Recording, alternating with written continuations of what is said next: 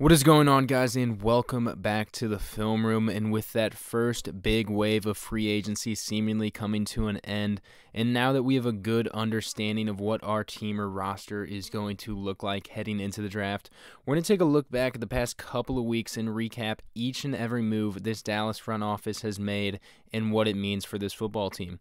Definitely do not forget to subscribe. We're going to be breaking down the film of the likes of Keanu Neal and Damontae Kazee in these coming days, so you definitely do not want to miss out on that. I appreciate you all for stopping by, and let's go on and get into it. Gonna start out with what Cowboys of this past season we will see in a different uniform in this upcoming season. First departure we're going to hit on is that of Andy Dalton. Dalton signed a one year, fully guaranteed $10 million deal with the Chicago Bears, and well, good for him. Paying your backup quarterback $10 million would not have been a move that I would have been in favor out of us. And it seems like Dalton will actually be the QB1 in Chicago. Like, actually, actually.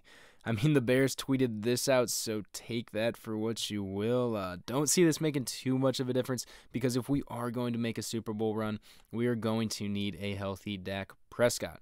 Speaking of departures that don't really make too much of a difference, we lost the likes of swing tackle Cam Erving to the Panthers, tight end Blake Bell to the Chiefs, and linebacker Joe Thomas to the Texans.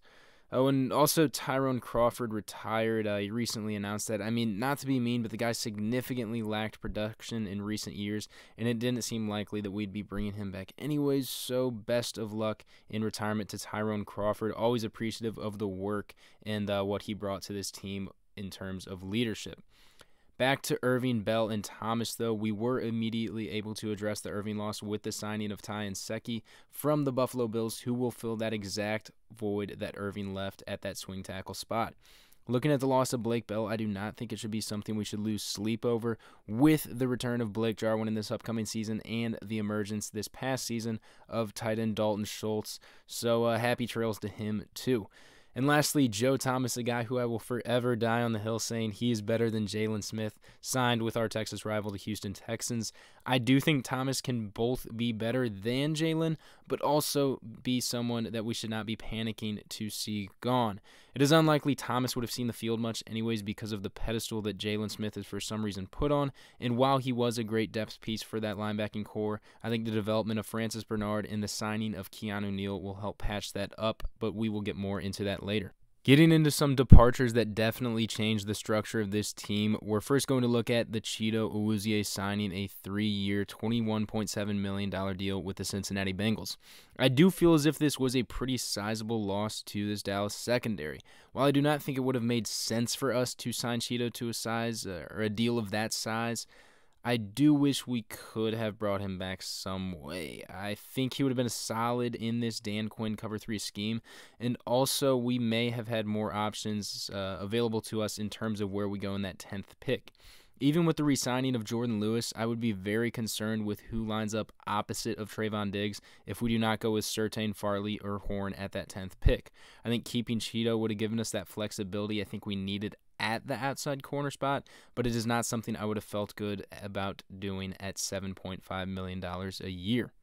Staying on track with the secondary, we also saw the departure of Xavier Woods over this past weekend. Woods signed a one year deal with the Minnesota Vikings for $2.3 million. And I know many of you guys were likely happy to see Woods part way with the Cowboys, but I do think the light that was shed upon Woods this past season was a lot dimmer because of the comments he made halfway through the season about giving effort.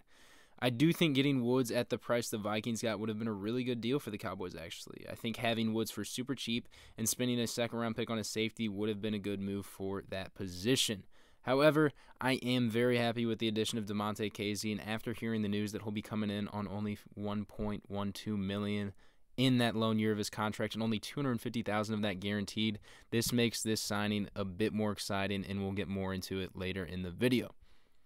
Another player that is not returning to the Cowboys this upcoming season is going to be that of Aldon Smith. While Smith was a fan favorite, I do think his production went down significantly after the first quarter of the season. And while Smith did have a great story and will certainly be a guy I root for wherever he goes, his departure should not be blown out of proportion. A full season of Randy Gregory should make Cowboys fans forget about Aldon Smith rather quickly. Lastly, we have to talk about the most important departure from the Cowboys roster, and that is LP Ladouceur, also known as the GOAT, the GOAT. Uh, in all seriousness, though, guys, uh, Cowboys fans, uh, we all need to stop freaking out about this. His replacement, Jake McQuaide, has made two Pro Bowls as a long snapper, so clearly he's doing something right. LP still, of course, is the GOAT, but let's not lose our lids over a long snapper. Now, getting into the Cowboys, we are bringing back on new deals and the free agents that are going to be getting that star slapped on their helmet. It is only right to do so with talking about Dak Prescott. I cannot be happier making this video that I do not have to worry and gripe in talking about the future of Dak Prescott with this football team because Dak is locked down in a contract that is very friendly for the current state of the salary cap as well as where I believe that salary cap will be in the future. And I do believe Dak being locked down prior to free agency allowed us to make many of the decisions we made to get this roster to where we wanted it to be heading into the draft. Looking at some of the key pieces we added, I want to start with Keanu Neal because this was arguably my favorite signing by the Cowboys so far this offseason. A lot of people were confused by this signing, initially seeing that Neal has primarily fit into defenses as a box safety, and well, that's what we see, or at least hope the role of Donovan Wilson ends up being for the majority of the 2021 season, seeing how that best fits his skill set. However, Neal was not brought in to be a box safety or even a safety in general. He was brought in to fill out our linebacking corps. It's likely that we will see Neal in a role where he's filling run gaps, blitzing off the edge, or dropping into a zone where he'll lurk over the middle of the field. I think this role will fit Neal's fast and physical nature very well, and I expect the transition to be seamless. We'll get more into the role I expect Neal to play in a film analysis video I am posting of him tomorrow at noon central, so definitely be sure to subscribe so you don't miss out on that. I think the next most important addition the Cowboys made so far in this free agency also came in a package from the Atlanta secondary. And for the price we got this so called package for, it should be considered stealing. It took a while for the details of Damontae Kazee's contract to come in, but as of yesterday, it was reported the Cowboys got the man who led the league in interceptions in 2018 for 1.127 million in that lone year of his contract, and only 250,000 of that being guaranteed. Of course, there is concern with the fifth year vet coming off an Achilles tear in this past season, but there was a shot the Cowboys absolutely had to take here with Kazee, having the potential to fill perhaps the largest void in this Dallas defense at that free safety spot. I still believe the Cowboys should draft a free safety in the second or third round of this year's draft, but this is absolutely a great start for what hopes to be a significantly improved defense in this coming season. We will also have an in depth analysis of his film dropping this weekend to get more into detail on all of this. Staying with the secondary, another move I was happy to see made was the re signing of Jordan Lewis. Lewis stayed on with the team for a cheap signing of a three year, $16.5 million deal. I was happy to see Lewis return because of how well I think this Dan Quinn scheme will actually fit him. I feel as if Lewis thrives in zone in comparison to man, and I expect when Lewis finds himself on the field in this coming season, it will be mostly in a zone. I also appreciate the versatility that Jordan Lewis brings to the table. He had experience on the outside in his early years before moving into the slot, and with the departure of Chido and the presence of Anthony Brown, it's not unlikely that we might see Lewis head back to the perimeter at times in this upcoming season. I also think there's potential for Lewis to find himself competing for snaps at the free safety spot, considering his instinctual play and zone friendly skill set, but that does seem less likely with the signing of Damontae Kazee. I also do not expect him at the top of this defense at all this season unless injuries at the position force the Cowboys' hand to do so, as it did in the latter parts of this past season. All in all, though, happy to see Lewis back, and I do expect him to have an improved year in this Dan Quinn scheme. One last signing I feel was important enough to head into discussion about was that of Brent Urban from the Chicago Bears. Urban signed a one year, fully guaranteed $1.75 million contract with the Cowboys, and I expect him to have a Tyrone Crawford like role in this defense.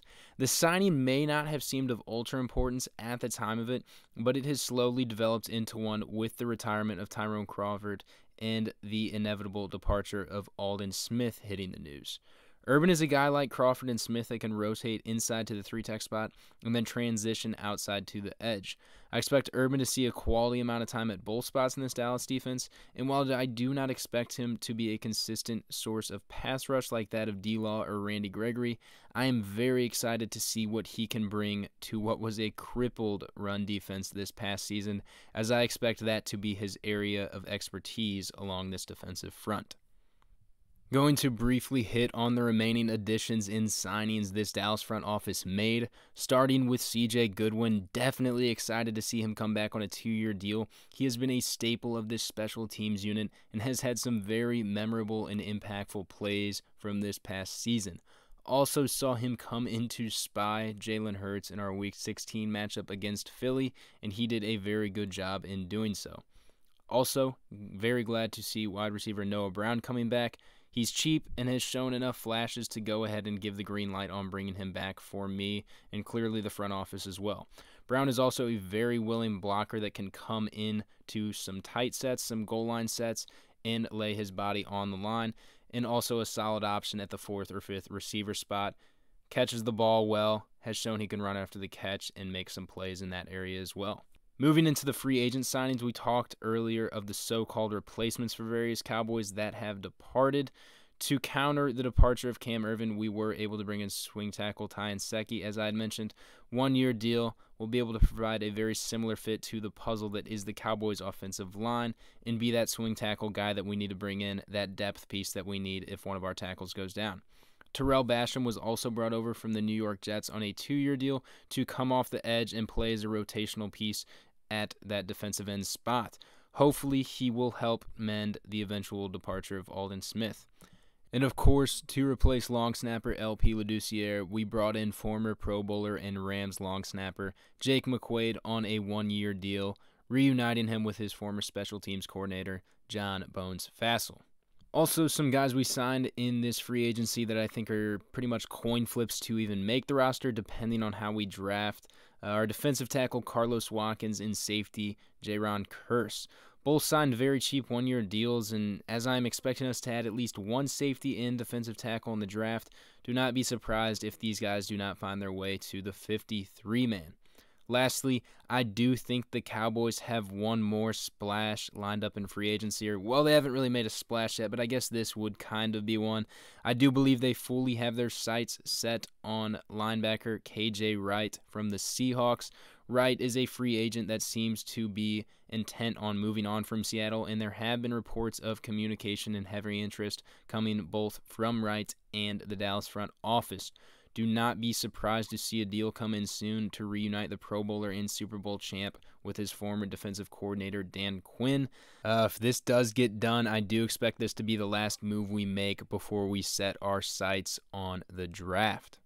Well, guys, that about wraps it up. I hope you guys enjoyed this video, and I appreciate you all for stopping by. I hope that I was able to provide some insight on this first big wave of free agency for the Cowboys. And while there were not any crazy splashes made by this team, I was happy to see a lot of the moves we made and do feel we are a much better roster on paper than we were a few weeks ago.